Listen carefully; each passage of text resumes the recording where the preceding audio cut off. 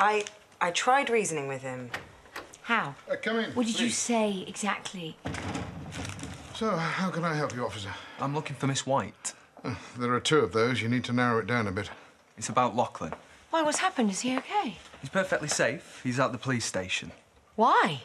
Uh, he's claiming he shot his grandfather.